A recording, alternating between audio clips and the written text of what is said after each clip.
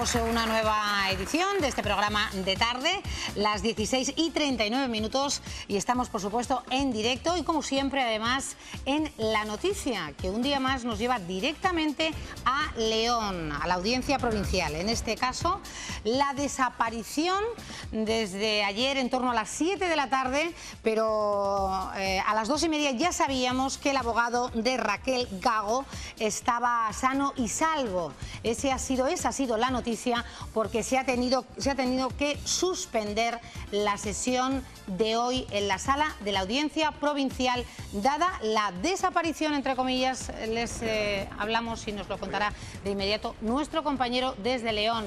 Roberto Núñez. Desaparición del abogado de la policía local, Raquel Gago. En torno a las dos y media conocíamos eh, que se encontraba eh, bien, que estaba sano y salvo, y hablaremos de esa eh, no declaración en la comisaría, porque según el diario de León.es, el abogado se negaba a contestar a preguntas de la policía y decía que lo sucedido era un asunto suyo y de nadie más. Y volvemos a Madrid Fusión. Allí se ha ido de nuevo nuestra compañera Patricia Andújar. Hoy en ese final de fiesta, ese broche de oro, en el Palacio Municipal de Congresos, en ese Madrid Fusión. Patricia, buenas tardes. Buenas tardes, Cristina. Efectivamente, nos hemos vuelto a desplazar a Madrid para vivir esta tercera jornada, tercer día y además de clausura de Madrid Fusión 2016, en el que el protagonista de Castilla y León hoy es Valladolid.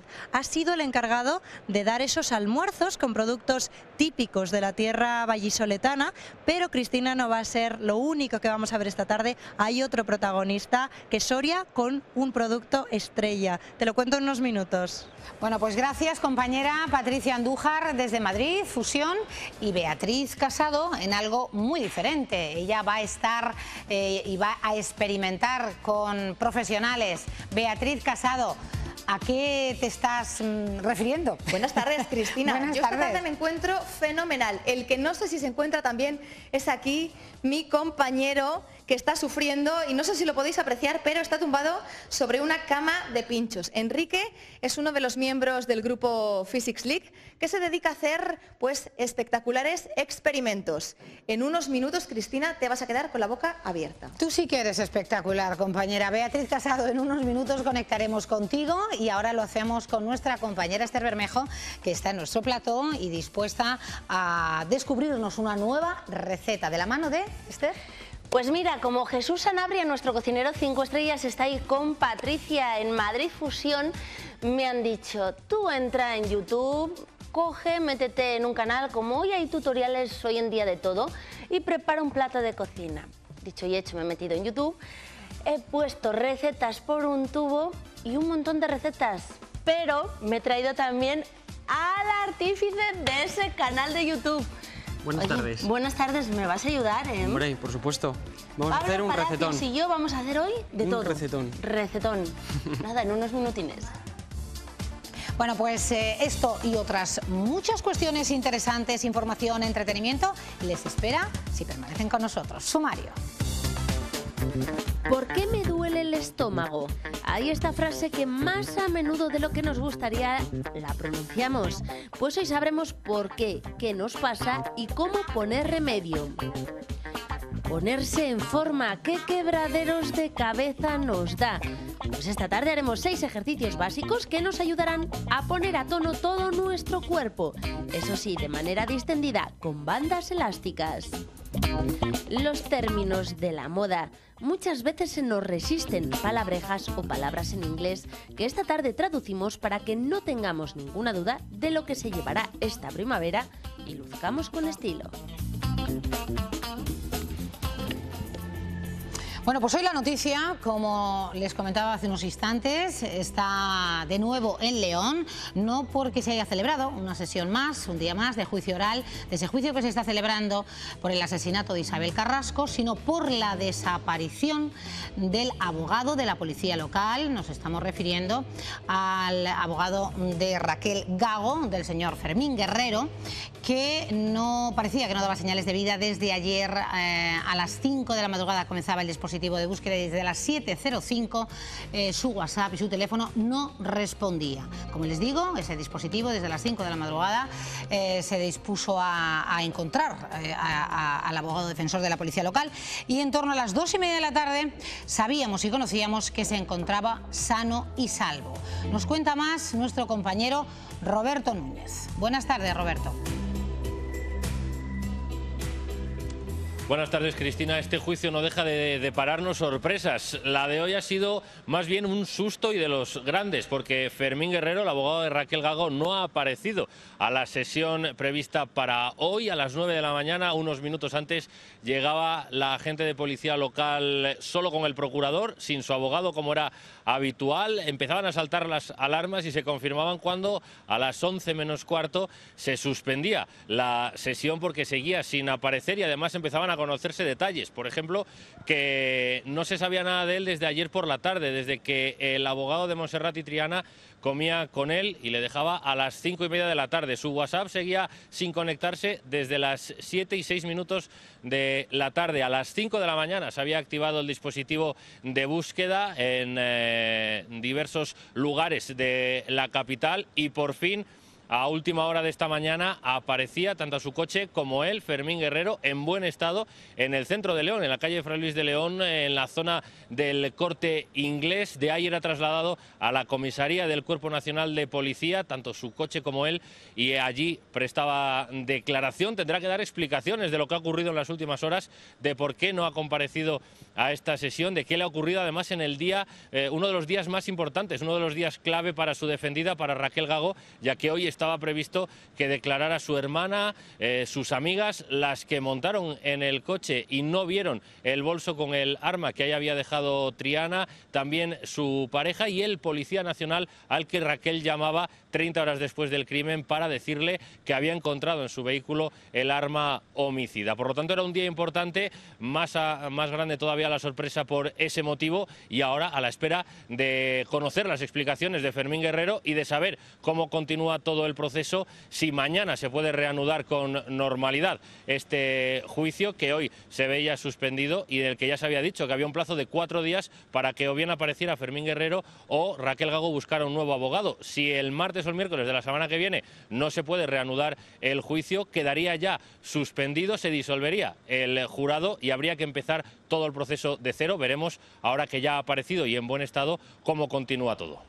Buen trabajo, de verdad, a todos los compañeros eh, de informativos, al equipo de León, porque efectivamente no ganamos, gracias Roberto, para sustos y vamos a escuchar y a ver en orden cronológico lo que sucedía desde primera hora de esta mañana en la audiencia provincial de León. Ya resultó extraño ver llegar a Raquel Gago sin su abogado.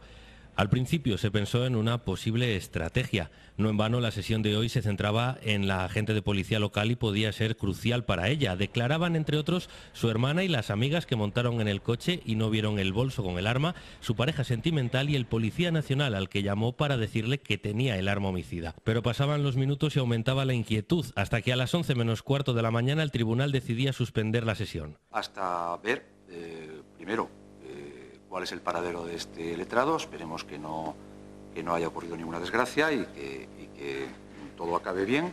A partir de ahí comenzaron a gotear detalles. El último en verle fue el abogado de Montserrat y Triana, que comió con él y le dejó a las cinco y media. Dos horas después había quedado con Raquel para preparar la defensa de esta sesión, pero ya no apareció. La última vez que se conectó al WhatsApp fue a las 7 y 6 minutos de la tarde. No se supo nada más de él y a las 5 de la mañana se activaba la búsqueda. Primero en la vivienda que ocupaba. Al no aparecer, se extendió a los hospitales y luego a centros hosteleros. Se ha sabido que Guerrero, natural de Murcia, padece dolencias cardíacas.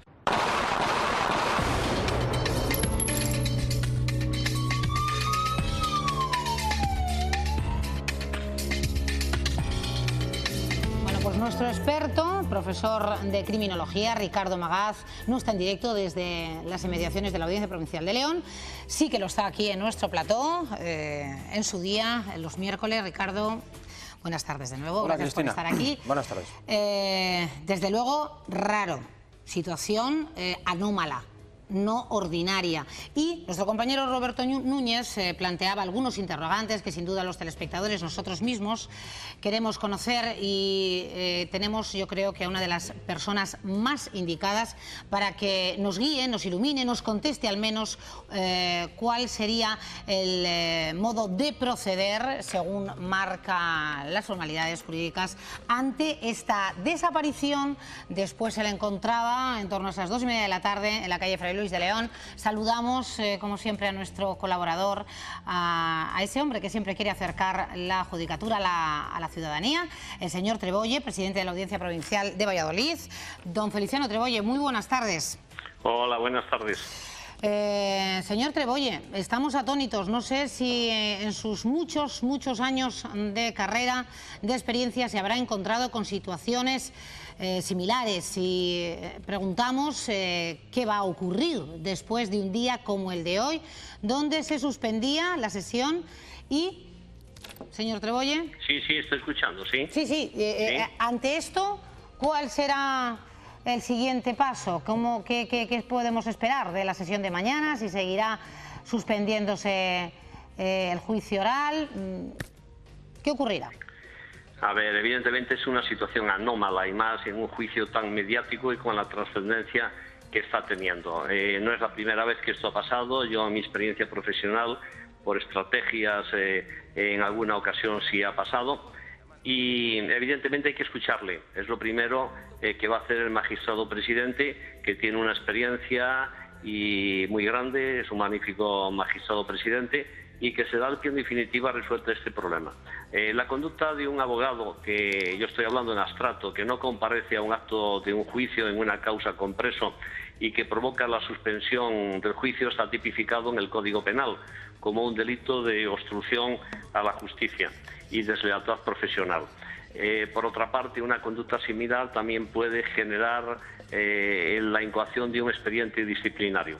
Eh, siempre y cuando en estas dos situaciones la conducta desarrollada por ese abogado eh, no esté justificada. Entonces, lo primero es que hay que escucharle y el magistrado presidente, con muy buen criterio, como hará, resolverá esta situación anómala. Bueno, eh, sí que podemos apuntarle, señor Trebolle, eh, que parece que se ha negado a eh, contestar a preguntas. ha estado en comisaría, ya se ha negado a contestar a la policía, diciendo que lo sucedido es un asunto suyo y de nadie, y de nadie más, tal como apunta, y podemos ver imágenes del diario de León.es. bueno, mm, esto es posible que se niegue a contestar a preguntas de la policía. lo hará ante el presidente de la audiencia el señor eh, eh, Álvarez, ¿no? Es eh, don Carlos Álvarez.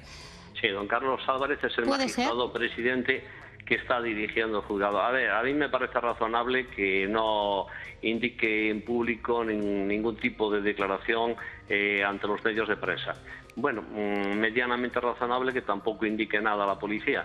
Pero el momento determinante es cuando el magistrado presidente que está dirigiendo este procedimiento ante el Tribunal del Jurado le pida las explicaciones de por qué en una causa con preso no ha comparecido cuando estaba debidamente citado y ha provocado la suspensión del juicio.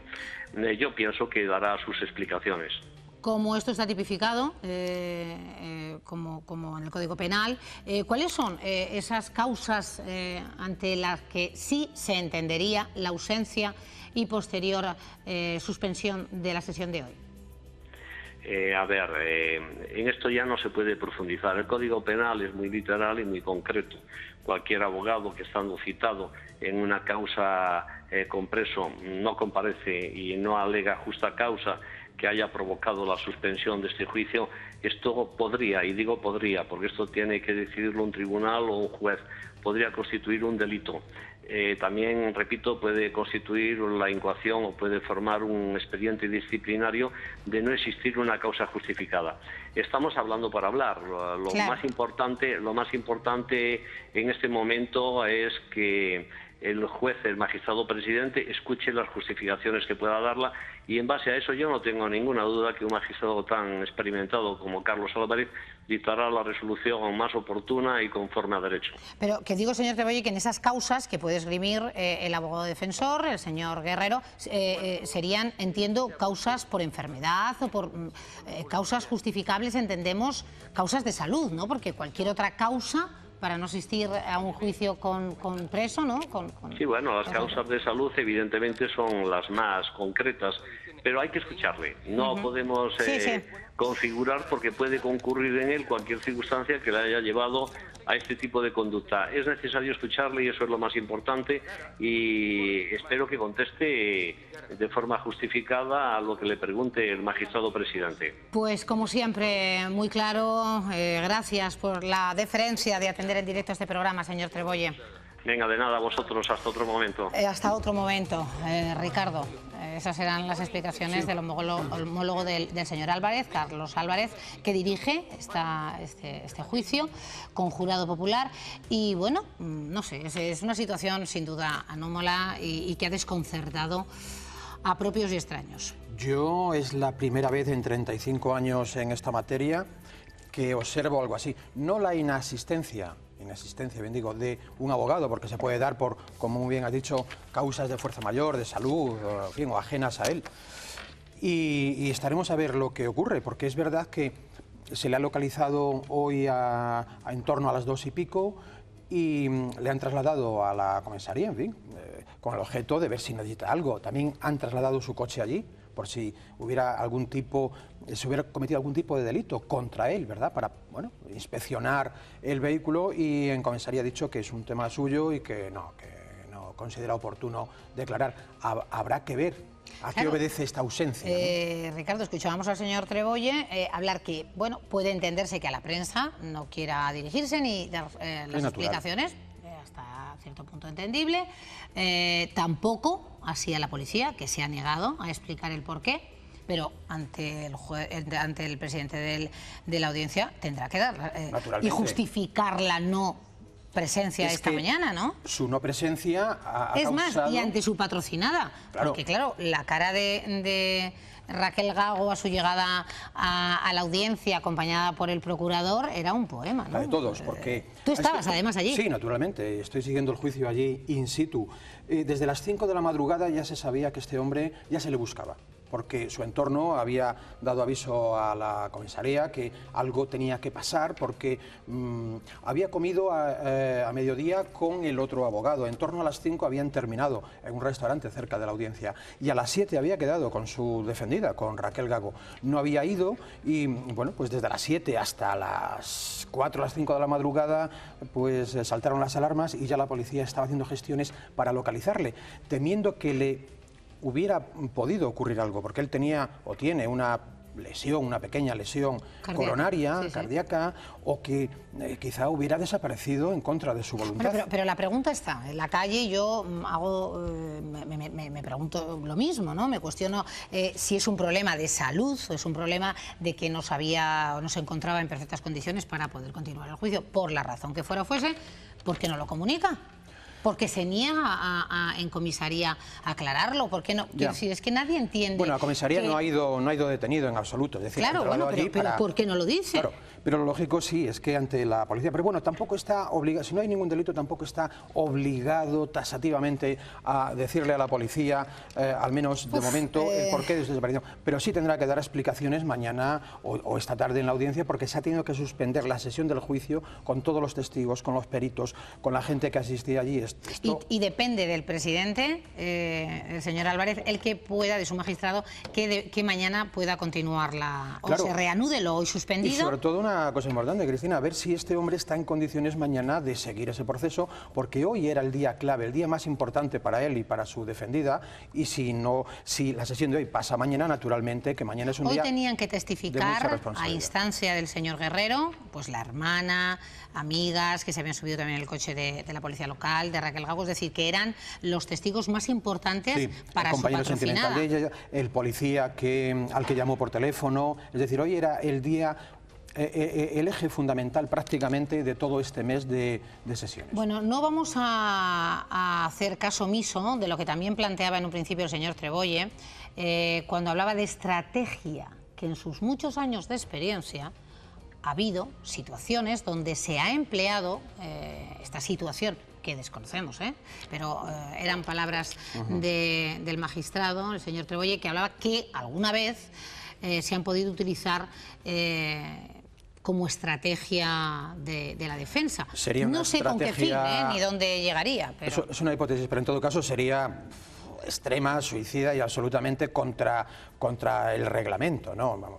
Yo espero que no, yo espero que, que, no sea así porque eso no sería asumible de ninguna de las maneras. Bueno, nos enteraremos de las causas de lo que ha sucedido. Sí, es ¿eh? inevitable porque aunque, como él haya dicho y haya, haya adelantado el diario de León.es, que es un tema suyo, que es un asunto propio y de nadie más, bueno, lo es en parte, pero es que eres el abogado que está ejerciendo allí y tienes que comparecer en la sesión. Ya lo dijo el presidente de la audiencia, causa con preso y eso es importantísimo y tendrá que dar explicaciones suficientes y justificadas para, que, para justificar su ausencia. No, se le puede plantear además y encobar un expediente disciplinario, es un delito de obstrucción a la justicia con causa de preso.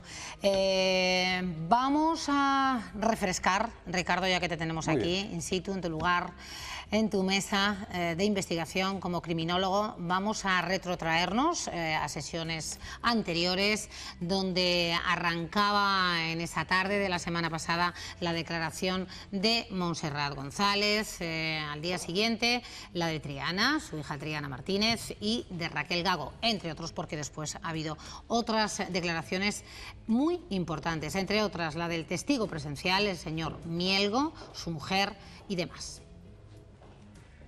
quería tener relaciones sexuales con ella y entonces... ¿Su hija se lo contó a usted lo que había sí, pasado? Sí, me lo contó. ¿Qué le había entonces, dicho? ¿Cómo había salido ella de la casa? Dijo que había salido corriendo y que se había ido. Desde luego mi hija estaba tan mal, ella iba a seguir, porque iba a seguir ¿eh? haciéndole eso. No salió eh, García Prieto, pues decidí eh, matarlo. Bien. ¿Está usted arrepentida por lo que ha hecho? No. No ¿Pero sé. por qué? ¿Por qué no está arrepentida? Pues porque o... si, si no mentiría. Es que si no lo hago, la verdad es que mi hija lo iba, bueno, iba a ir al entierro como fui a los otros de los otros. Y entonces no, no. Bueno, eh, Montserrat hablaba que ella era ella o su hija, eh, que no se arrepiente. Venía a decir esto el, el... de que por su hija mata. Bueno, sí. yo la declaración de Montserrat fue muy caótica, difícil de comprender, bueno, imposible de comprender y de justificar el asesinato, naturalmente, pero sus explicaciones fueron eh, muy, muy caóticas porque no terminaba sus frases y, y, nos costó a todos comprender realmente lo que quería decir. Vamos con eh, algunos momentos importantes, los más importantes de la declaración de Triana, Triana Martínez. ¿Le debía dinero, le debía algún favor importante a usted o a su familia que se viera obligada, siguiendo con esa hipótesis de, de las acusaciones, a ayudarla de una forma obligatoria? No. ¿Existía algún tipo de, de razón entonces para participar en esos seguimientos, si es que los hubieron? En absoluto. Raquel no conocía nada de, de esa situación. Nada. ¿Está segura? Sí. Decía muchas cosas que a veces me sentía yo ofendida porque no, porque yo con ella bien. Cuando ya ve que yo salgo, me dijo, pero piénsatelo bien, que ya han salido las bases. No, diga, de tu, diga lo que le dice. Ya han salido las bases de tu plaza y si te quedas tienes mucho que ganar sin, y poco que perder. Cuando usted coge el bolso, ¿no notó el peso que tenía el bolso? Sí. ¿Ya pensó que allí había un arma? Sí. ¿No necesitaba abrirlo para verlo? Que le dije, ¿qué pasa? Y me dijo, la estoy viendo, la estoy viendo, Carrasco, hoy termina todo esto. Su, su madre no le había dicho que, que había comprado el arma. No. Usted no lo sabía. No.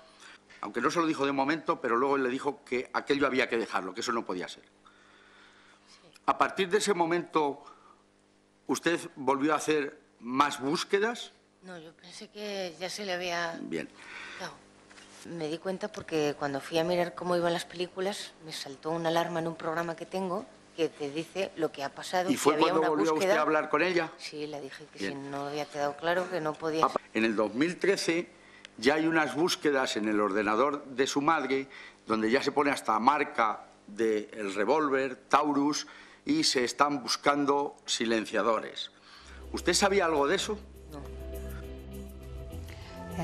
¿Cómo resumes la declaración de Triana? Cristina, lo tiene difícil.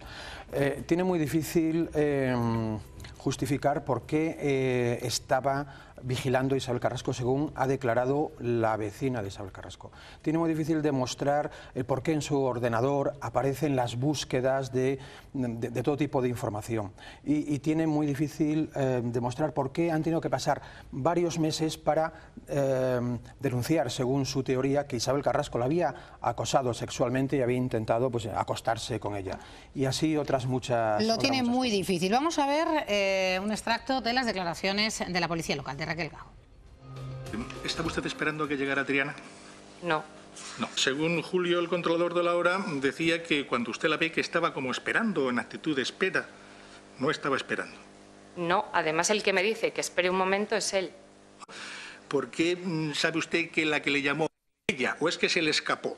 No, no, que yo no he dicho que ella me llamase. Yo lo que le he explicado después en esa declaración, que quizás a usted no le sirva, por lo que me está diciendo, es que eh, cuando suena ese teléfono, yo hago ese movimiento, al instante veo a Sí. Y por Entonces, para mí es como que ocurre en el mismo instante. Y por ¿Perdón? eso- y por eso asoció usted. Y por eso dijo ella. Porque claro, si alguien no sabe quién le llama, no sabe si es él o ella. No, claro que no. ¿Por qué dijo usted ella? ¿Se le escapó? A ver, no es que se me escapase, le he dado la explicación que tengo. Sí, sí, sí. Es que la veo casi al momento, por eso mismo mm, eh, yo me quedé así sorprendida. Ella viene mm, de frente hacia usted. Eh, ¿Dejó algo en el coche? Que yo me diese cuenta en ese momento, no. Tuvo que pasar hasta situarse detrás de usted, ¿no es así? Para poder meter Sí. algo en la parte trasera del coche, Sí. ¿no? ¿Y usted no la vio que la rodeó y se puso detrás? Pues no, porque yo estaba en mi conversación y como ha sido lo que tarda una persona en ir casi caminando, pues es que ella se ha ido de pasada. Y tampoco se dio cuenta, ya que le acababa de preguntar o afirmar, dice usted, ¿tienes abierto el coche? ¿No se dio cuenta si abrió el coche y metió algo? No, no lo vi. Le dijo también, ahí te dejo eso. No. no. Triana dice que sí que dijo eso, lo que pasa que dice que fue porque se lo sugirieron la policía, pero en definitiva, ¿lo oyó usted algo así parecido ahí te dejo eso? No, en todas mis declaraciones he dicho que no. Solamente dijo lo de mm, me voy a la frutería, ahora vengo. Triana dice que sí que dijo eso, lo que pasa que dice que fue porque se lo sugirieron la policía, pero en definitiva, ¿lo oyó usted algo así parecido ahí te dejo eso? No, en todas mis declaraciones he dicho que no. Solamente dijo lo de mm, me voy a la frutería, ahora vengo. La señora incomprensible. sí. Porque así como en el caso de madre e hija tienen, comillas, una, una razón de odio visceral para... para, para- Un móvil, ¿no? un Para su móvil, actua- para su actuación. Matar a Isabel Carrasco. En el caso de Raquel Gago no tiene ningún motivo para odiar a, a Isabel Carrasco. Y tiene, lo tiene también... ¿Y cómo calificas la complicado. declaración de Raquel Gago? Pues tiene que explicar que una, un par de horas antes del crimen tomó café con madre e hija. Tiene que explicar que luego estaba en compás de espera, justo allí, al ladito donde se cometió el crimen. Y tiene que también explicar esa llamada que recibió de apenas 17 segundos. Y tiene que explicar que eh, luego, durante 30 horas, cuando el revólver estaba en su coche y, eh, en fin, lo tenía ella, no gestionó eso y tardó un día y pico, 30 horas en llamar a la policía. Vamos a escuchar, ¿te parece? Porque ya hemos escuchado también al, al señor Mielgo, a su mujer, que también eh, nos dejó bastante Sí, bastante eh, sorprendido. sorprendidos ante esa- ese no reconocimiento de esa llamada, eh, también están ante los compañeros de la prensa, pero vamos a irnos a las declaraciones más actuales, la de la gente, por ejemplo, de la hora, De la hora, sí. que estuvo en esos momentos y con que lo pusieron Raquel en, en serios apuros al hombre. Gago, ¿eh? que, que sí. Y, y también junto a él las declaraciones de la expareja de Isabel Carrasco. Las palabras que dijo a- abre, como abre el coche, eso y el crack. Oyó el crack de la apertura de los seguros. Ya tenía una tendencia sexual o que tenía una relación sexual o afectiva o amorosa, del tipo que sea, en Valladolid. La verdad es que me parece una patraña terrible, de lo, de lo más eh, injusto que he oído en mi vida. He visto las dos eh, caminando, hablando. Bueno, Ricardo. ¿Por dónde empiezo? Dime. Por lo que acabamos de Por lo que acabamos de ver. Bueno, pues eh, el vigilante de la hora, el hombre sudó algo de tinta. ¿eh? Yo creo que dice verdad porque no tiene motivo para mentir, puesto que él es un testigo, pero bueno, las defensas cumpliendo con su deber sí le apuraron y en algún momento pues el hombre se vio algo apurado, ¿verdad? Bueno, ha dicho lo que ratificó lo que había declarado en, en la policía y en el juzgado que estableció esto una conversación con Raquel Gago, que llegó una chica que luego resultó ser Triana, que le dijo abre el coche, que él no vio exactamente el acto concreto de meter el bolso en el coche, pero escuchó cómo se abría el, cierre automático, ¿verdad?, del vehículo y cómo, y cómo se cerraba. Y que luego él se fue y Raquel Gago permaneció allí, permaneció exactamente en el mismo sitio, calle Lucas de Tui con San Piro. Y eso es importante. Eso es importante. Y la expareja de Isabel Carrasco que negó taxativamente. Sí, lo negó todo, pero dijo cosas interesantes. Sí. bueno, negó que, sexual, negó ¿no? que, que- que su mujer, su compañera sentimental, su novia Isabel Carrasco, le hubiera eh, ofrecido relaciones sexuales a, a Triana y también dijo que a él le había pedido, primero, la madre ayuda para que colocara a la hija como funcionaria fija, como ingeniera de telecomunicaciones, y la hija en un momento determinado, en un congreso, le pidió que le pasara las preguntas, el examen de la oposición. Bueno, nos queda mucho por cortar. Pues hasta mediados de febrero. Y si esto sigue así, pues nos puede dar... Y con la incógnita de, que se- de qué sucederá mañana, yo no sé por qué, eh, qué opinión te merece o por qué te decantas, si mañana continuará, eh, Bueno, habrá otra se nueva iniciará la vista, la sesión ¿Sí? y el sí. ¿Confías en que el juez... Bueno, sí, pero porque el presidente tiene que resolver. Si el abogado está en condiciones de defender a, a su patrocinada, Raquel Gago, pues habrá sesión y si no, pues igual se suspende un día o dos o ya se verá a ver, porque igual continúa con la defensa o igual eh, renuncia a ella, no se sabe. Pero bueno, a las 9 de la mañana yo creo que sí, que se abrirá la sesión y el presidente del tribunal pues resolverá lo que sea. Pues mañana te veremos en directo desde esas inmediaciones de la audiencia provincial contándonos eh, lo que ocurra, si ha habido sesión, si no, y en qué ha consistido y dónde está. Lo más importante, la noticia más importante de la sesión de mañana. Gracias, Ricardo gracias. No hay crimen perfecto y aquí una y otra vez eh, se demuestra. Con contingencias, pero se va a demostrar que efectivamente al final va, va a haber justicia. Vamos eh, con nuestra compañera Patricia Andújar. Ella continúa tercer día de Madrid Fusión y ella nos cuenta lo importante de hoy, Día de Valladolid. Patricia. ¿Qué tal, Cristina? Saludos otra vez. Pues te comentaba hace unos minutitos que en esta tercera jornada de Madrid Fusión 2016, jornada de clausura, había un protagonista, Valladolid, que ha sido el encargado de llevar a cabo esos almuerzos con productos típicos de la tierra. Pero te decía que no iba a ser el único. También Soria y su trufa, con una subasta benéfica, donde los fondos que han obtenido van a ser para una fundación. Vamos a ver en qué ha consistido esta tercera jornada de clausura de Madrid Fusión. Son ya por tradición las reinas de la última jornada de Madrid Fusión y tradición es también que se vayan al restaurante Don Giovanni. Es eh, un producto que yo amo, que me representa. eh, y le debo respeto, le debo mucho yo a la trufa. Andrea Tumbarello lleva casi una década pujando por las trufas sorianas. Hoy ha compartido la más pequeña con la conocida Susi Díaz. quiero compartir con, con mucha gente que, que realmente quiera yo de verdad, ¿no? Porque ya no hay que mirar la trufa, hay lo que hay detrás. En total, 4.100 euros por estas dos joyas de oro negro de 700 y 500 gramos que se van a la Fundación Juan Guanella de Ayuda a Mujeres Discapacitadas y que en el camino ponen a Soria en la cumbre de los productos gourmet. Este diamante negro que, que tenemos en Soria eh, como un poco el escaparate del resto de los productos agroalimentarios que tenemos en la provincia. No solo de productos presumimos en Castilla y León, también de profesionales con proyección, como el burgalés Ricardo Temiño del restaurante La Fábrica, finalista del Premio de Cocinero Revelación de Madrid Fusión. Estoy súper contento. Ganar, era estar aquí. Hemos estado aquí. Hemos sido seis de seis nominados de toda España. Y no podemos pedir más. Porque entre un centenar de cocineros, 70 demostraciones y 14 países participantes en Madrid Fusión, Castilla y León tiene mucho que decir. Bueno, pues ya ves, Cristina, esto es lo que ha acontecido en este Madrid Fusión 2016. Vamos a ver, ha querido estar presente y acercar a todos nuestros telespectadores la representación gastronómica de Castilla y León.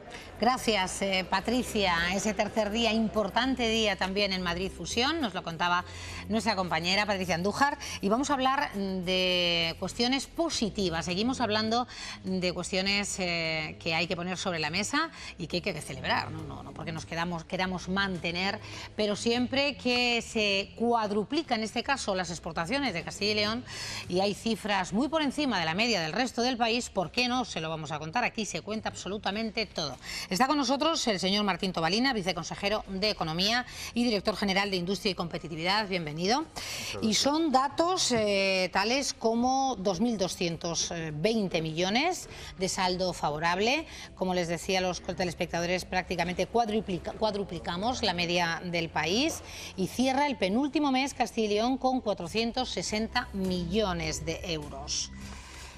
Eh, enhorabuena. Eh, enhorabuena a todos, ¿no? Y a todas las empresas de esta comunidad que lo hacen bien. A todo el tejido productivo, a todos los empresarios y a todas las empresas instaladas aquí en Castilla y León. Al final redunda en, en actividad y empleo, evidentemente.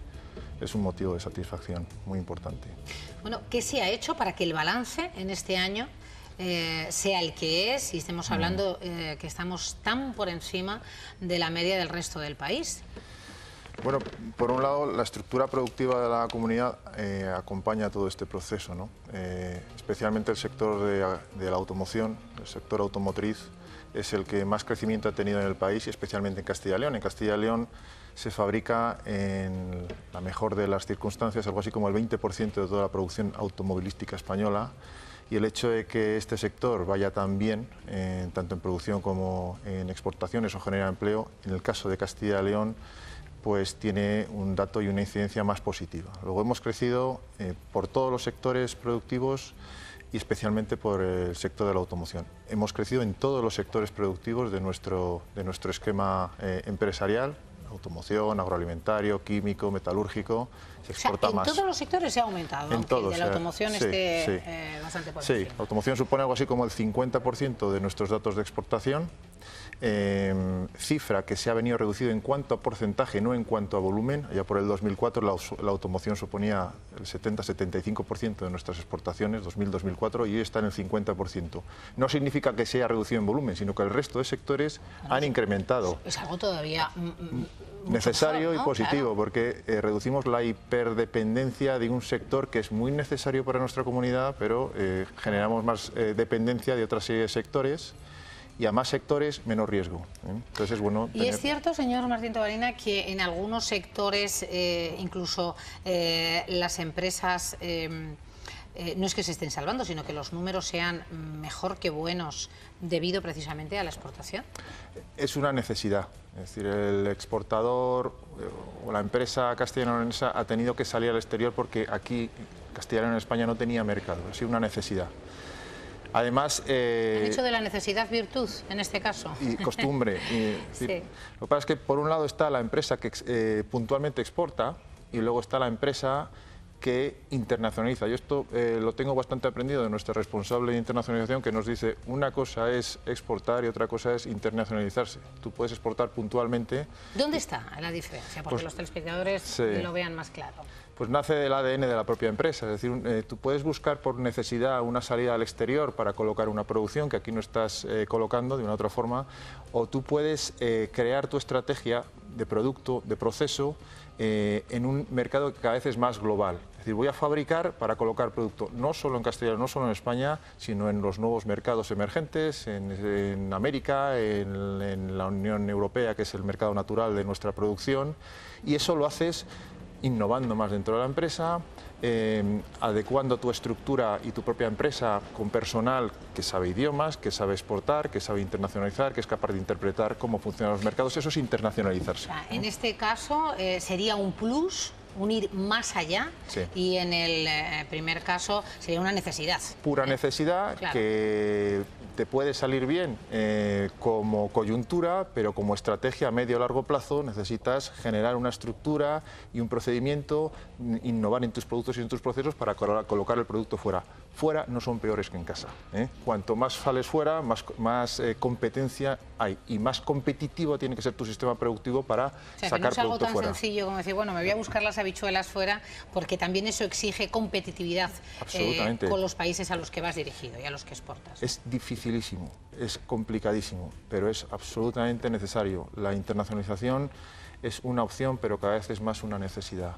Eh, y una cosa, repito, es exportar y otra cosa es internacionalizarte. En Castilla y León tenemos unas 5.000 empresas exportadoras, de las cuales 1.600, 1.700 están internacionalizadas. El objetivo es crecer más en las internacionalizadas, hacer empresas o ayudar a las empresas a que miren más al exterior permanentemente, no solo en una No cuestión de coyuntura. coyuntural. ¿Y tienen apoyo cada vez más de las instituciones en este sentido, en esa mm, internacionalización? Estamos ya en el borrador del cuarto plan eh, de internacionalización de Castilla y León. El primero se inició en el 2003-2004 y estamos ya en el cuarto. Son eh, planes de cuatro años, de cuatro o cinco años y estamos ya a principios. El presidente Herrera y la consejera eh, Pilar del Olmo anunciaron que en este primer trimestre ya tenemos el borrador, se sacará el, el cuarto plan de internacionalización que va a cuatro años en los cuales se incorporan pues en la parte pública y la parte privada. De la parte pública es la propia Junta de Castilla y León con el ICEX, que es el Gobierno de España, el Instituto de Comercio Exterior, y la parte privada son las cámaras de comercio y la, la patronal CECALE. Todos juntos convenimos en una serie de medidas, en una serie de apoyos para ayudar a exportar, para ayudar a internacionalizar, para formar, para crear una red exterior que la crea la propia Junta de Castilla y León con más de 20 destinos en los cuales nosotros estamos presentes con promotores y para dar servicio a los empresarios, no solo los que puntualmente o eventualmente quieren exportar, sino los sobre todo aquellos que quieren internacionalizarse de una forma permanente, dando servicio, apoyo, formando eh, y además formando aquí a chavales que luego salen fuera a trabajar Claro. y pueden retornar. Bueno, pues eh, gracias de verdad por eh, habernoslo contado de forma presencial aquí en directo para los castellanos y leoneses que tenemos que saber de lo bien que lo están haciendo las empresas y por supuesto que no hay que conformarse, hay que seguir y seguir apoyando. Gracias. bien, gracias a vosotros. Se- Señor Martín Tobalina, viceconsejero de Economía, director general de Industria y de Competitividad. Eh, cambiamos el paso y vamos eh, a comentar el espacio, espacio abierto, el programa que dirige y presenta nuestro compañero Eduardo Gordaliza, que es además el director de informativos de esta casa. El tema de hoy, protección de datos. Eh, el jueves se celebra el Día Internacional de la Protección de Datos y el espacio abierto aborda los retos de la privacidad y seguridad de la sociedad digital. Todo esto en el programa Espacio Abierto, no se lo pierdan esta noche. Y ahora vamos a hacer una breve pausa, pero continuamos en directo, 5 y 20 de la tarde. Ni se muevan. Bueno, un vasito de agua, pero continuamos. Bueno, pues seguimos viendo y en este caso vamos a ver a nuestra compañera Beatriz Casado experimentando. Solo les digo esto, porque estoy igual de sorprendida, Beatriz, que los telespectadores. ¿Te ha gustado lo de antes, eh, Cristina? Bueno, pues prepárate para lo que vamos a ver ahora. Antes de nada, voy a dar las buenas tardes aquí a mi tocaya, Beatriz. Buenas, tardes. Qué bien, lo bueno abunda, si es que esto es fenomenal. Bueno, cuéntanos, eh, ¿quién sois vosotros, este grupo Physics League? ¿De dónde sale? Somos una asociación sin ánimo de lucro que surge de la carrera de físicas. Somos todos estudiantes de la carrera, de grado o también doctorandos. eh, y también estudiantes, bueno, eh, mm, investigadores postdoc y todo.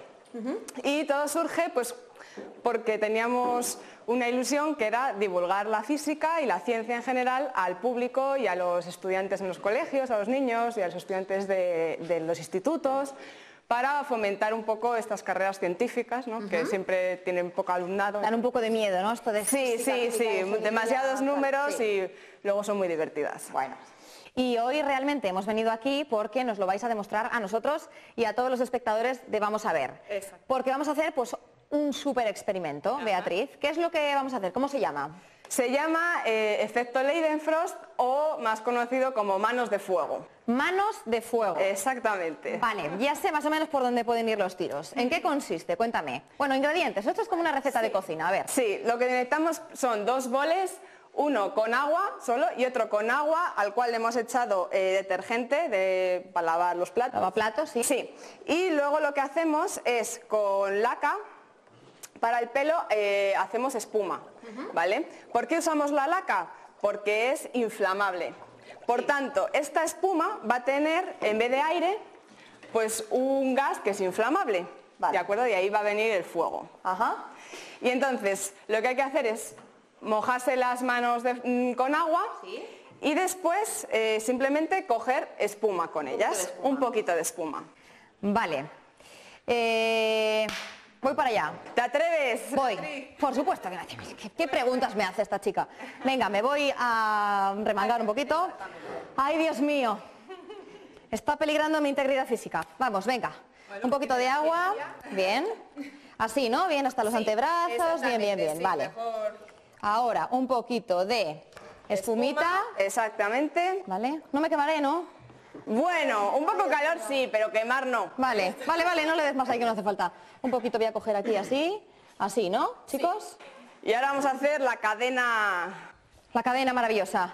Vamos allá, me quedo aquí en el medio. Vale, ¿preparados? Allá vamos. ¡Uh! ¡Uh! ¡Bueno!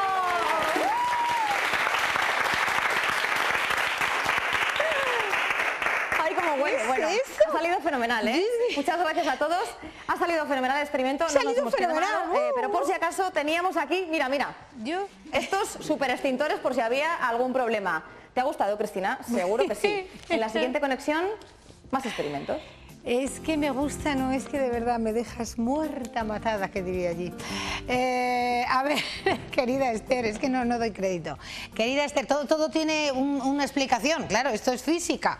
Ya, ya, pero yo las manos en el fuego ni La la liga de los ¿eh? físicos, mira a ver tú ahí entre fuegos, entre cazuelitas, lo que haces. Yo ¿No haces experim- cosas tan espectaculares como Beatriz? ¿Cómo que no? Espectaculares.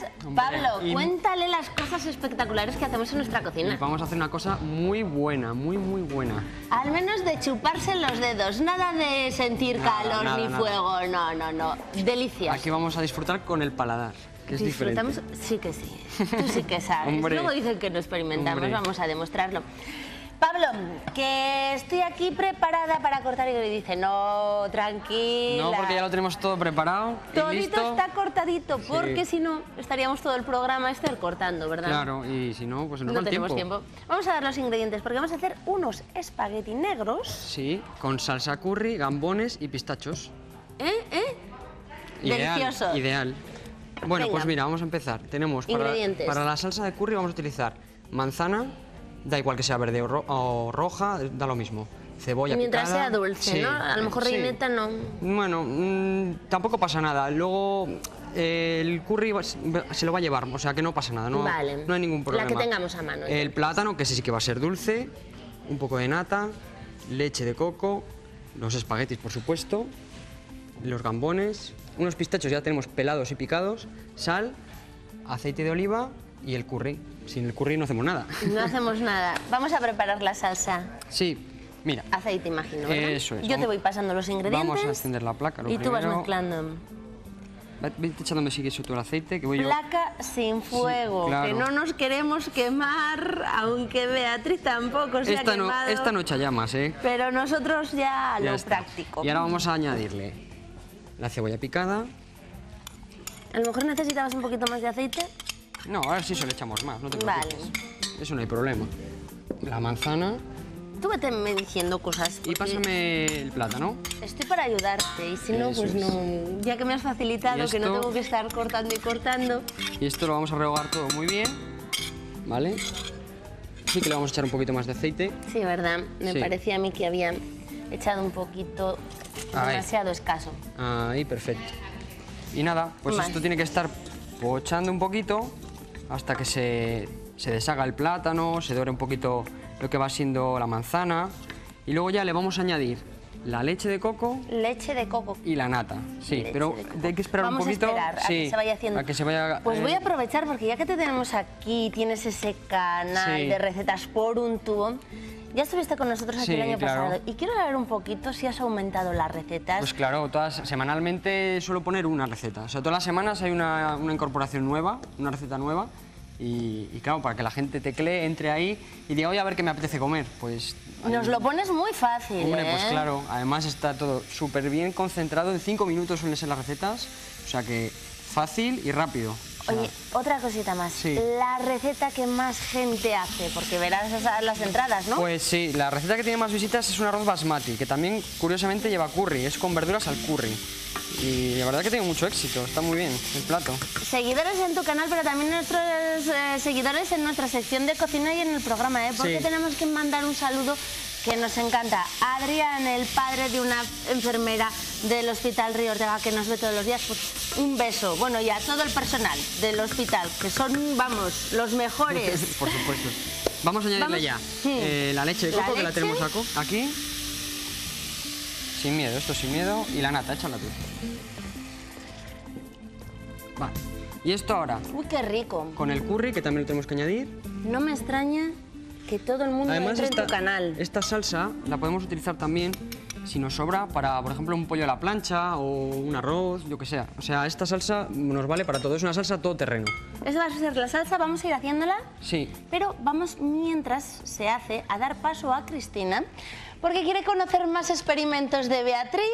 No le vale con los nuestros. ¿Eh, Cristina? Ellos Pues has visto qué delicias.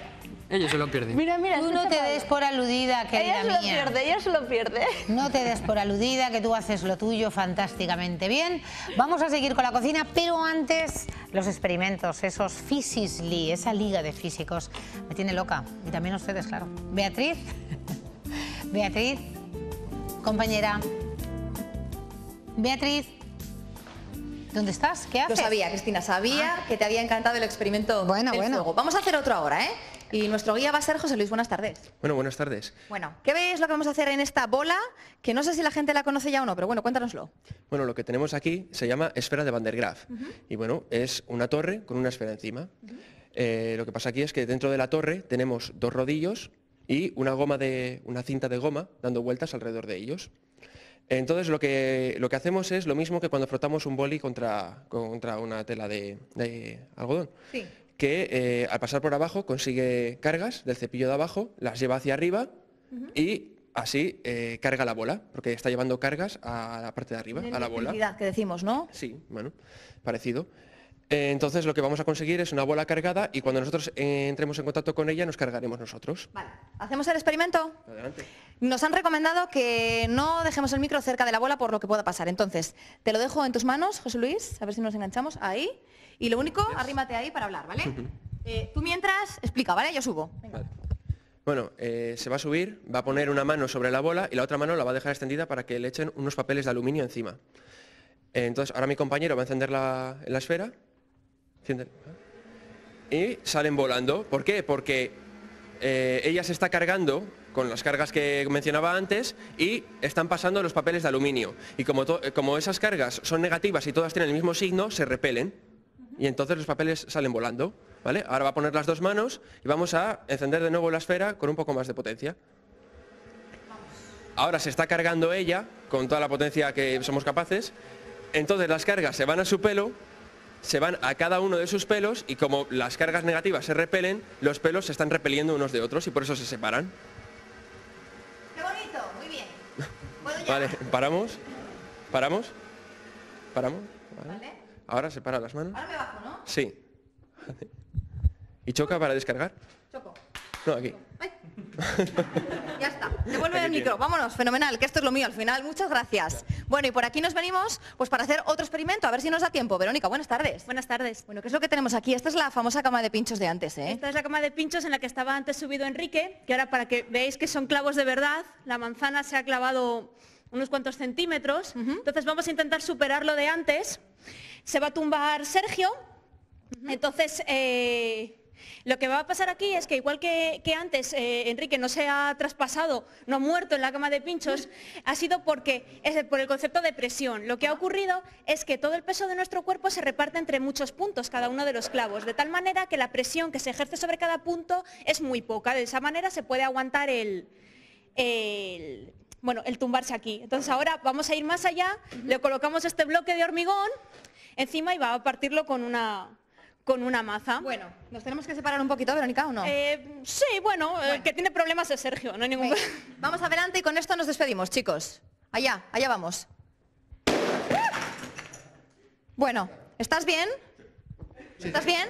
Sí, sí, estoy bien. estoy Sano y salvo. Bueno, pues nada, Cristina, que con esto nos despedimos. Impresionante estos chicos, enhorabuena a todos los chicos de Physics League. Mira qué científicos más buenos tenemos en Castilla y León, ¿eh? Espectacular. Ya, eh, lo que pasa es que yo esto, esto es casi de fakir, mm, de verdad, más que de, de físicos. Me hubiera gustado ver a Beatriz ahí en esa cama de pinchos, a ver si hubiera aguantado. Porque todo es mentalización, Beatriz. La siguiente eres tú.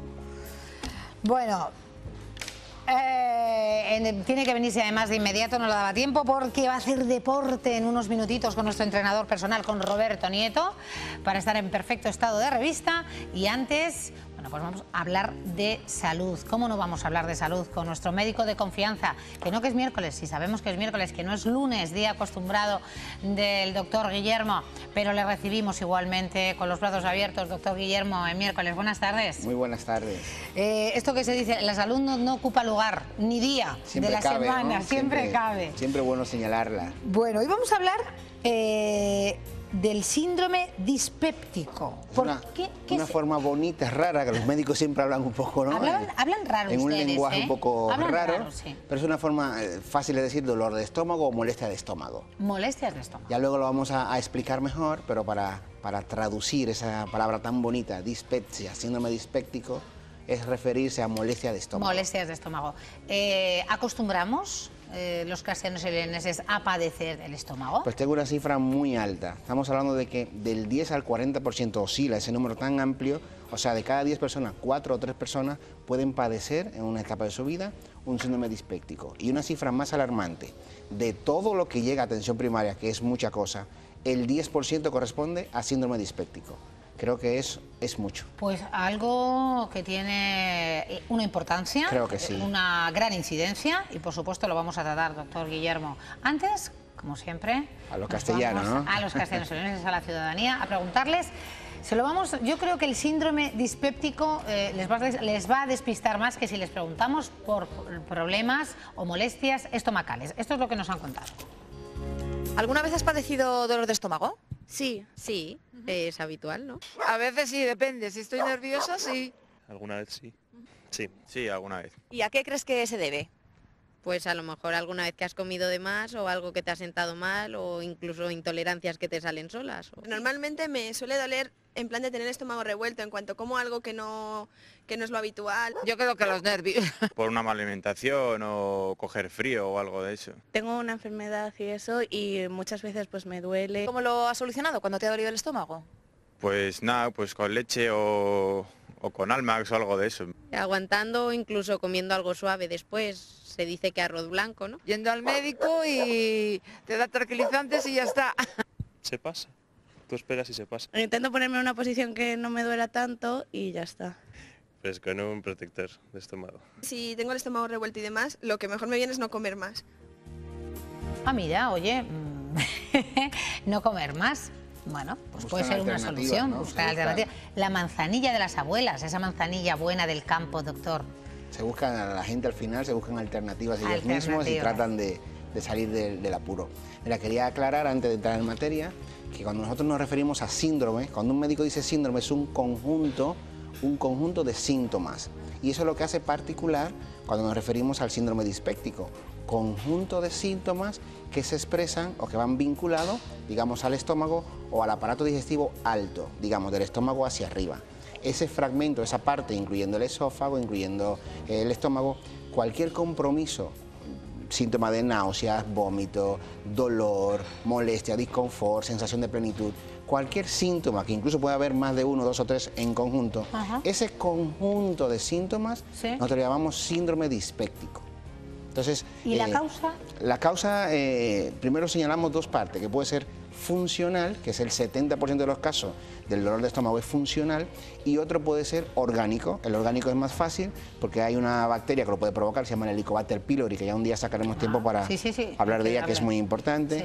También están las úlceras, que alguna persona, hasta que aparece la úlcera, tiene sintomatología antes que diagnostiquemos. Primero hay síntomas, entonces Sí, luego diagnosticamos. sí. Está la, la gastritis. O sea, hay muchos síntomas que son totalmente orgánicos, que lo podemos identificar, clasificarlo, tratarlo, erradicas el problema y solucionas el síndrome dispéptico. O sea, que casi es mejor que sea orgánico que funcional.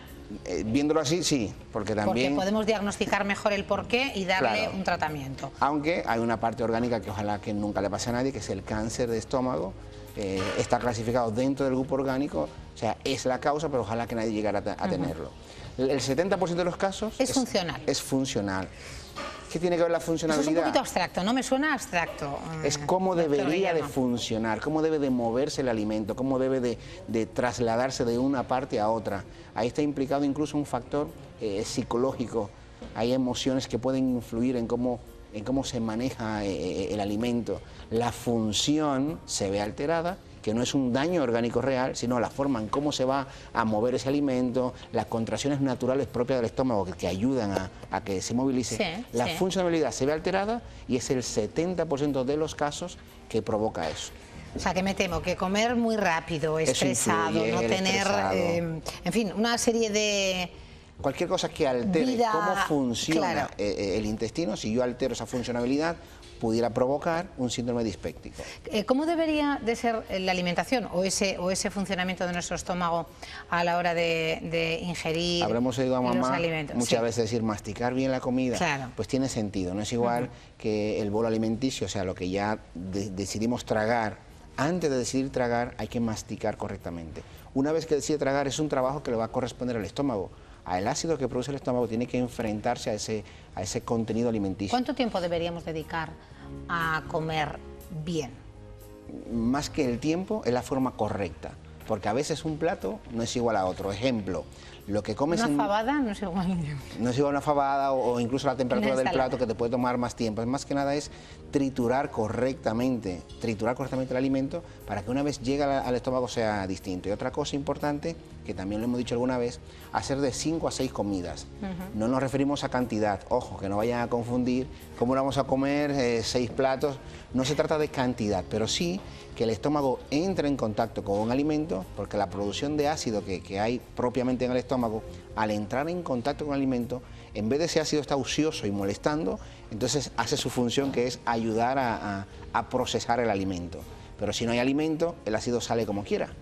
O sea que el ácido está ahí. El ácido está si no le tenemos trabajando, puede incordiar. Exactamente. Me gusta cómo, lo, lo traducimos, digamos. Lo al lenguaje llano para que efectivamente la gente eh, lo. Ahí cabe señalar entre el tratamiento, en ocasiones dentro del tratamiento es tratar la producción de ácidos, que es lo que hacen el famoso eh, omeprazol, que me, atrevo a señalarlo porque no es una marca, es un principio activo. El famoso omeprazol, lo que es un inhibidor de la bomba de protones. La bomba de protones produce ácido. cuarto estudios, doctor. Vamos a traducirlo. Vamos a traducirlo. La bomba de protones produce ácido y lo que tratamos de hacer es reducir esa producción de ácido. Es una forma de mejorar menos ácido, menos irritabilidad o menos molestia en el estómago. Ah, Es una forma. Y se suele recetar además eh, cuando se acompaña de antibióticos y de alguna serie de de medicación. Hay medicaciones como los AINES. Para que no dañe el estómago. Hay medicaciones específicas, no todas, que también caemos en el error, que ahora alguien se toma un paracetamol y ya quiere tomar un, tampoco hay que abusar. Un, mal llamado protector de estómago. Entonces, no todos los fármacos, pero como dices tú, algún antibiótico como la eritromicina puede provocar síndrome dispéptico, daño en el estómago. Los AINES, los AINES llámense, vuelvo y digo, como no es un nombre comercial, sino un principio activo, el ibuprofeno, puede provocar esa irritabilidad porque es un ácido más otro ácido, provoca más irritación. Entonces, todo debe de ir enfocado en pensar, en todo momento, en pensar en no abusar, no hacer un uso incorrecto de los tratamientos o que sean recomendados por un profesional para no provocar indirectamente patologías que vengan a hacernos me quedo, daño. Me quedo con ganas de preguntarle más cosas, doctor, se nos ha terminado el tiempo, cómo la utilización eh, de esos productos que además vemos anunciados a diario para esas acideces, en fin, malestares después de las digestiones, pero lo dejamos para otro momento para concretar y explicarlo igual de bien. Gracias, doctor Guillermo. Gracias a ellos que nos reciben. Nuestro médico de confianza y ahora nos vamos a nuestra periodista de confianza gastronómica, Esther. Claro, porque es muy importante comer bien, ¿verdad, Pablo? Una dieta saludable. Y equilibrada. Y equilibrada. Fijaos, fijaos, hay que colarlo ahora. Ya tenemos nuestros espagueti negros, sí. pero nos falta añadir los gambones y los pistachos, así que vamos Eso es, pues mira, es muy fácil. En lo que termina la pasta de cocerse, hmm. a ver si esto no se me nos cae. Vamos haciendo los gambones. Eso es, echamos un poquito de aceite Y los... y ahora añadimos los gambones. Si ¿Ya quieres- cortaditos? A ver, o- porque esto se me... Ahí, eso es lo que quería hacer yo. Estás en todo. Les hemos dejado dos enteros y estos picaditos. Los enteros son para decorar, para que nos quede chulo, ¿vale? Venga. Per- Perfecto. Que se nos caen los pistachos. Vamos Sí. a colar ya, yo creo, los espaguetis. Sí. Si me sujetas, porque esto baila un poquito. Por supuesto. A ver. Y no quiero Y que haya accidentes. No, ni que me queme. No, por favor. Que si no se ha quemado Beatriz con ese fuego en la mano, no nos Nosotros- vamos a quemar Nosotros nosotros. nos arriesgamos también, pero no- Mira. no, no nos vamos a quemar. Es un tenedorcito. Bueno, pues si no colamos estos Eso y es. ya está. Con estos son suficientes, Sí. ¿verdad? Mm, qué rico. Y nuestra salsa de curry. Que la tenemos aquí ya lista. Ya está, se ha triturado, ha cocido ya nada, mm, 10 minutillos, se ha triturado y, ya la está. tenemos perfecta. Eso es. Cuidadito. ¿Esta receta también la tienes en tu canal? No, ¿Esta es nueva? Esta es ¿Esta nueva. No la he colgado todavía. Oye, pues puedes colgar estos dos trocitos que hemos hecho aquí. claro, claro que los voy a colgar. Para que lo Para vean que lo en su vean en casa. su casa, quien quiera. y pueda tomar nota y hacerlo relajadamente, Eso que es como nos gusta cocinar. Bueno, ¿verdad? pues ya empieza a sofreír esto y nada, ya echamos la pasta, la- lo vamos a echar para una racioncita, ¿vale? Pues justo, para una ración, pero que degusten bien los gambones, que me gustan claro. Nada, esto lo vamos a saltear bien. Me encanta a mí cuando haces eso. Sí, es práctica, esto Es como, toque perfecto. es como todo. Nada, le damos una vueltilla, que se hagan bien los gambones y ya emplatamos. Emplatamos, es qué plato más sencillo y exquisito. Mm, Qué bueno.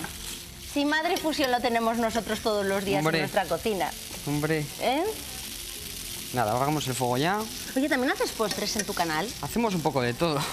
Ahora también quiero empezar a probar cosas, eh, productos y... Experimentar un poquito. Sí, más que nada probar productos y compartirlo con la gente, ¿no? Que al final vamos a Es de lo que se trata. Eso es. Vamos a ponerlo ahí con cariño. Vamos a adornar. Eso es. Vamos a echarle bien, bien de gambones. Sí, que nos gustan los tropezones. Eso, eso. Deliciosos. Vamos a coger Si dan las, sabor. las pincitas mejor. Aquí uno. Y los pistachos. Eso es. Los pistachos que nos van a aportar un crujiente muy rico. Pues ponemos ya y la también salsa, que no nos olvida la salsa. La salsa de curry. Hombre, a ver, que nos va a dar ese sabor oriental. oriental a nuestra pasta. Eso es. Salsa de curry. Y esos pistachos. Eso es. Y los pistachitos por encima.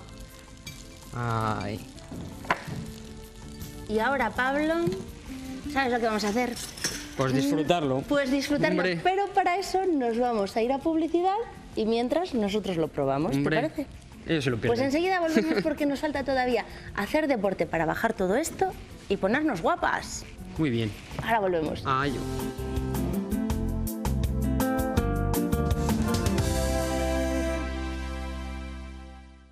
Ya estoy aquí. No tengo fuego entre manos, tengo una goma elástica que sirve para hacer deporte. ¿Con quién? Pues con nuestro entrenador personal, Roberto Nieto. Buenas tardes. Buenas tardes, Bea, ¿qué tal? Bueno, ¿qué vamos a hacer hoy? Nos vamos a poner un poco a punto. Vamos a Yo ya lo estoy porque es que he venido a toda mecha.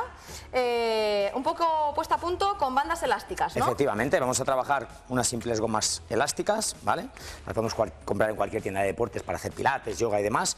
Y lo que vamos a hacer es unos ejercicios básicos para trabajar y tonificar todo el cuerpo. Un poco ¿vale? de arriba abajo. No nos De vamos a centrar hoy en ninguna zona especial. No, lo vamos a hacer para que todo el mundo, con este instrumento tan sencillo como unas gomas, pueda trabajar desde su casa. ¿Vale? Vale.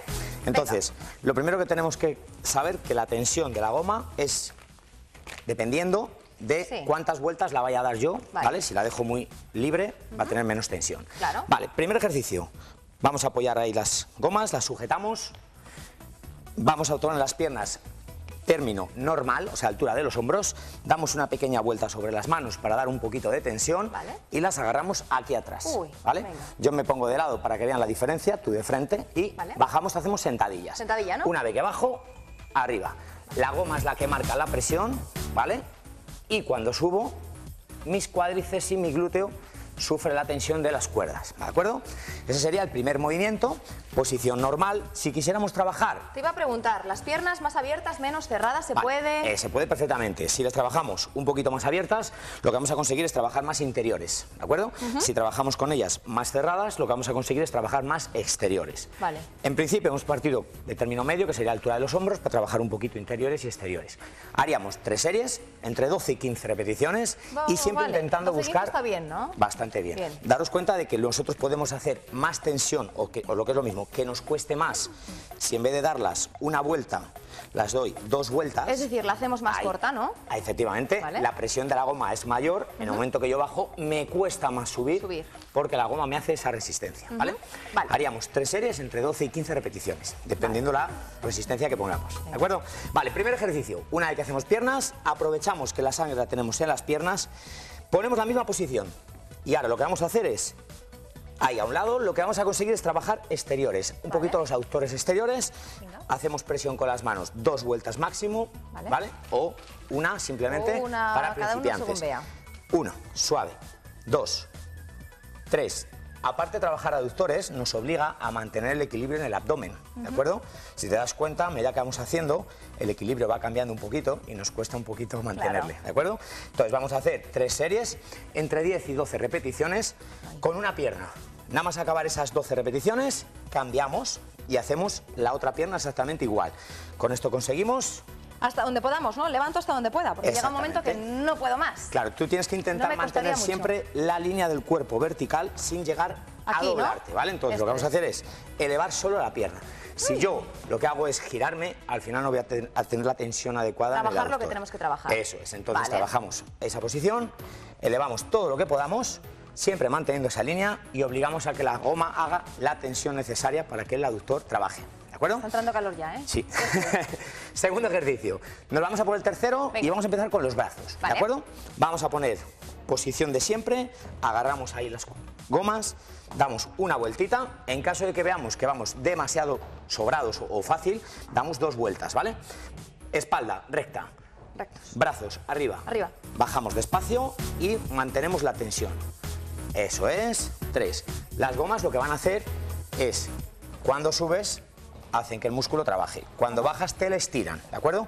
Dependiendo las vueltas que demos, vamos a tener más tensión o menos tensión. Claro, es diferente que al trabajar con mancuerna, porque la Sí. mancuerna, eh, la gravedad es al revés, es decir, pesa y lo que cuesta es subirlo. Y aquí lo que cuesta, no sé, subirlo y bajarlo, cuesta, ¿eh? cuesta subirlo y tenemos una pequeña ayuda de la goma que nos tiene que hacer a nosotros mismos que va- vayamos bajando poco a poco, porque si no, la propia goma lo que va a hacer es esto.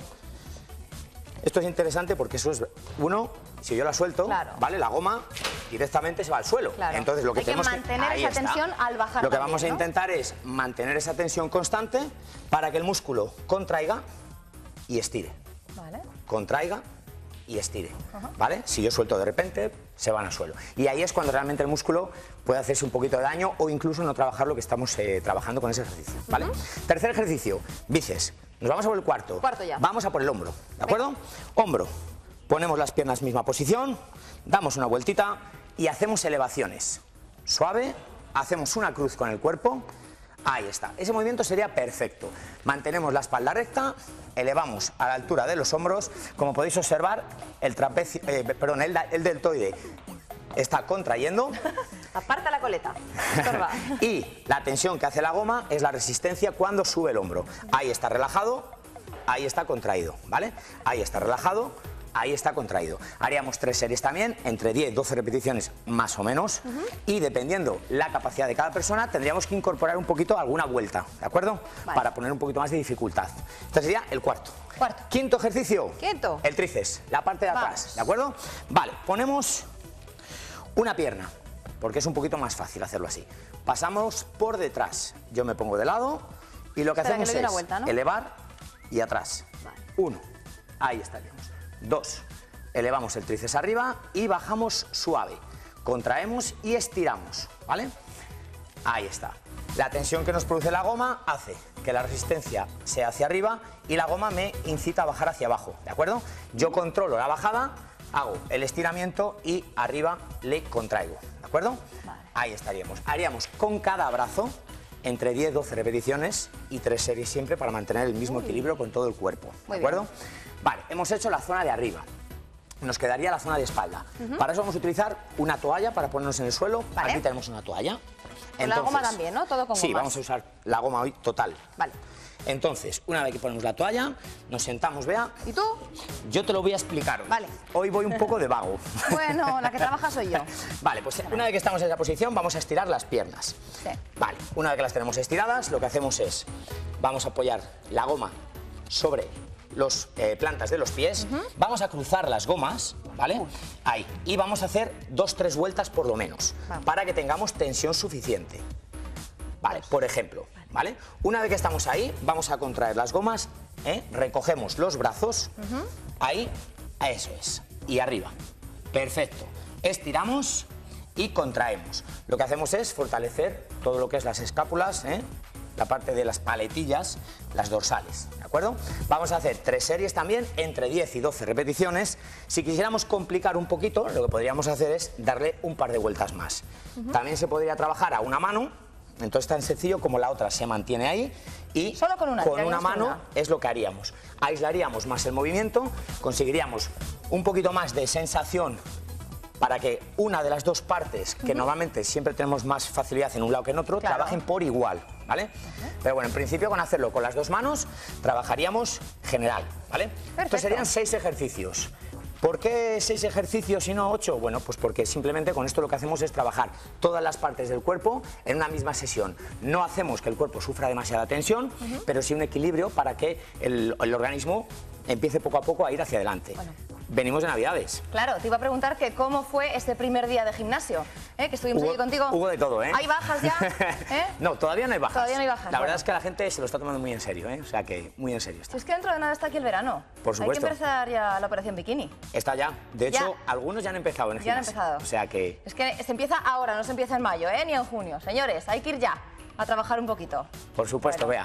Gracias, Roberto, por haber estado con A nosotros vosotros. y te esperamos la próxima semana. La próxima semana nos vemos aquí. Venga, pues nosotros eh, conocemos los términos deportivos. Lo que no conocemos muy bien son los términos de moda. Seguro que Mer, Cristina, los conoce a la perfección, ¿no?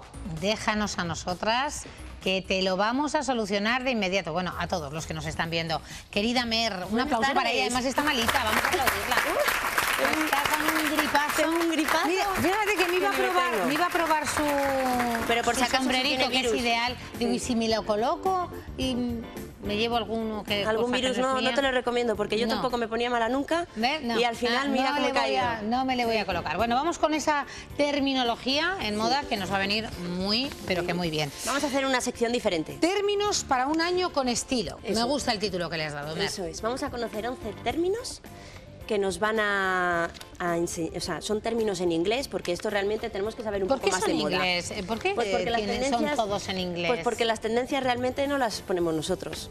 Lo ponen- Entonces, lo único que hacemos nosotros es hacer una London- traducción. ¿Desde London City salen? o Desde Nueva York y Nueva desde York? los grandes gurús de la moda. Hay los gurús de la moda que hablan español, los gurús de la moda. Vamos al primero. Nosotros tenemos españoles que los traducimos.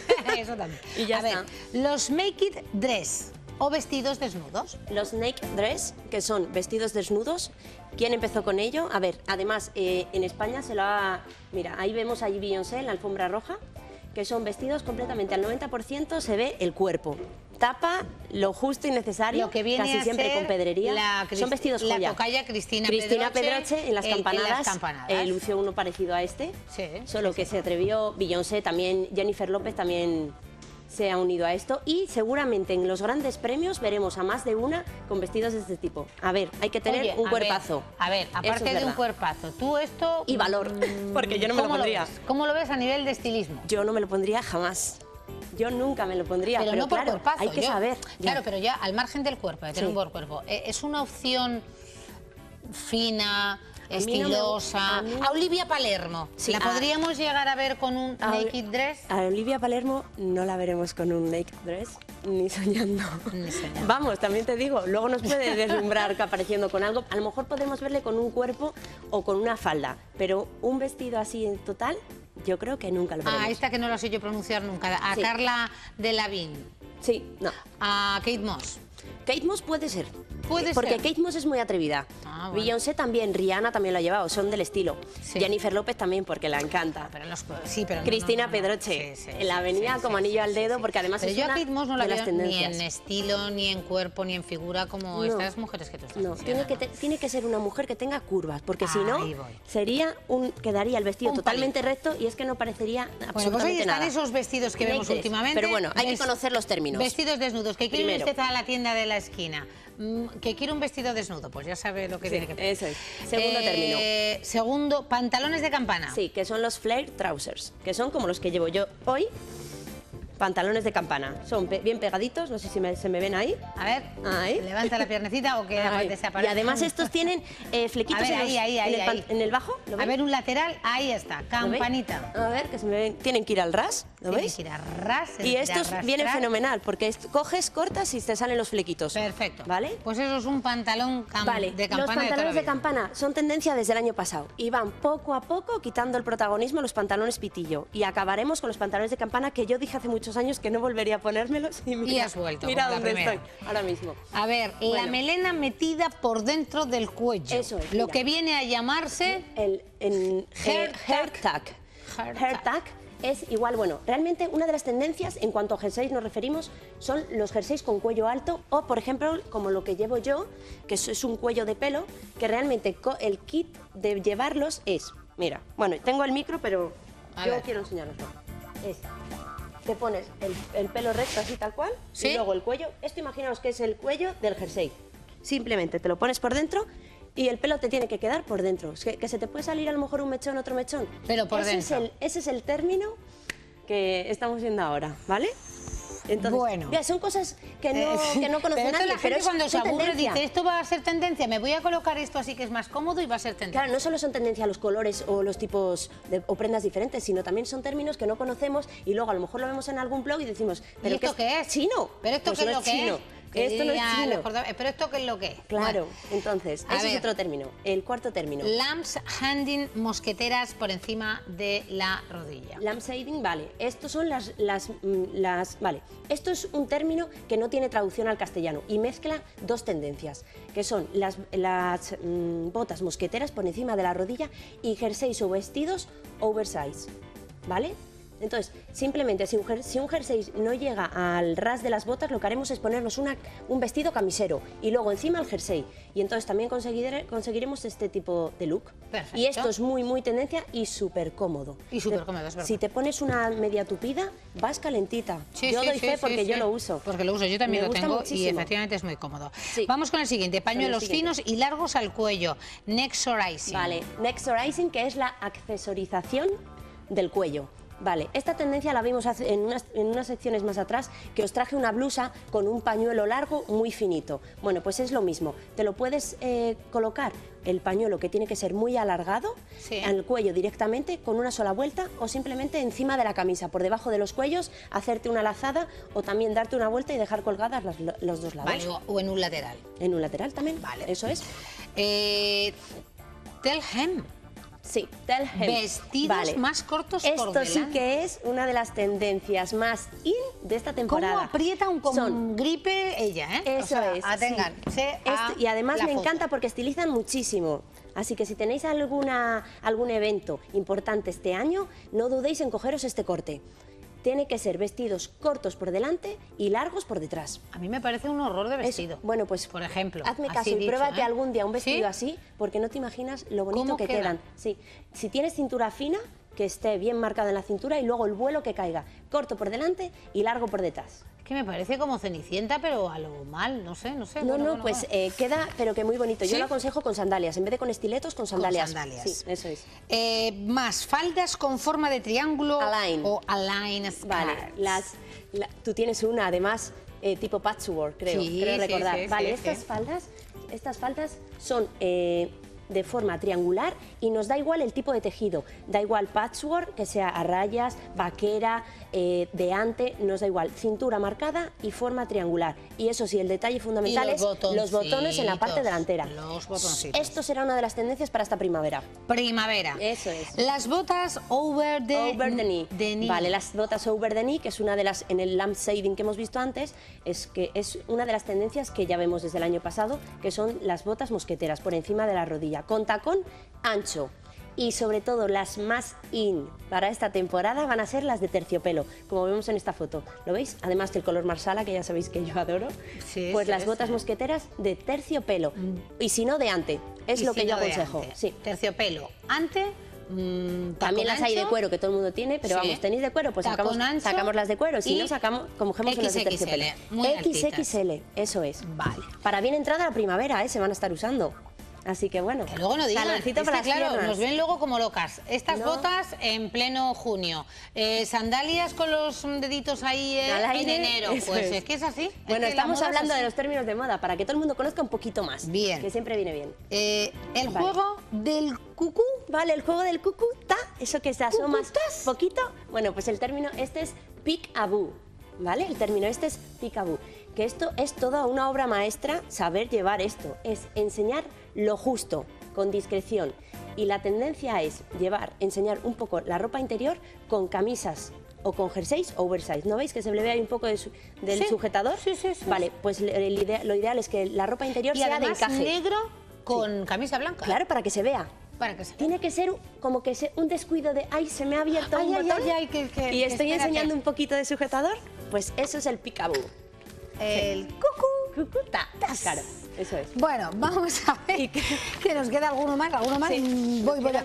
Eh, dejar ver por descuido la ropa interior y Eso es. los culottes se vislumbran con Vale, ten- como tendencia. Los culottes. Esto es un término francés. No sé por qué es inglés, pero bueno, como ¿Cómo lo sabéis, en francés? mira, nuestra querida culottes. Culottes. Culottes. Vale, Olivia Palermo. Olivia, Olivia. Me encanta Olivia. Sí, Olivia ¿Lo nos vuelve loca. Es una de las tendencias que yo, por ejemplo, todavía no me he puesto ninguno y se empezaron a ver el- eh, la temporada pasada.